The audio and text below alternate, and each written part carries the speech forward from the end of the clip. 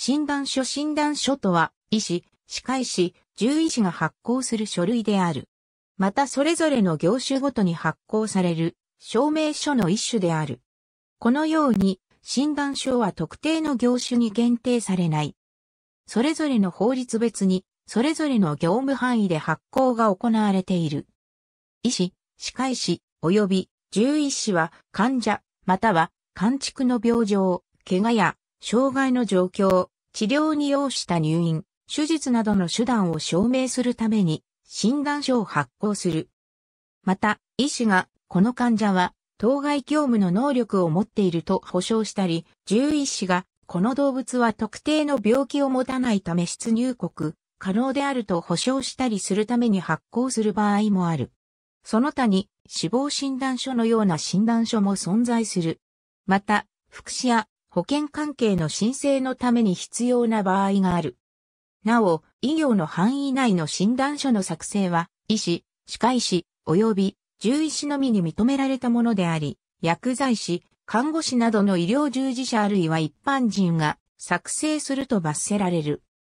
医師法第19条2項、歯科医師法第19条2項により、医師、歯科医師は患者から依頼があった場合には、正当な自由がない限り診断書作成を拒否できない医師法第20条では、診察しないで診断書の交付をしてはならないと規定されている。獣医師法第19条2項により、獣医師は診断書の交付を求められたときは、正当な理由がなければ、これを拒んではならない。同法第18条では、獣医師は自ら診察しないで診断書を交付してはならないと規定されている。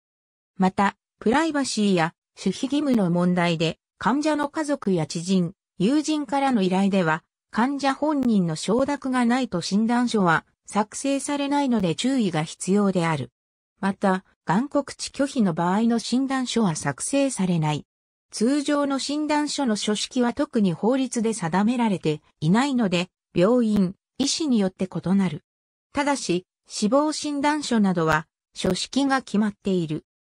可及的速やかに交付することとされており、交付されない場合は、医師法違反となる。